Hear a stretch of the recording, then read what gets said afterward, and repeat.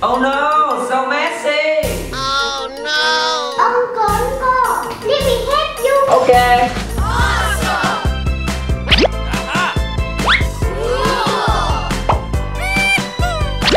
Thank you. Ta-da! Gift for you, Sammy.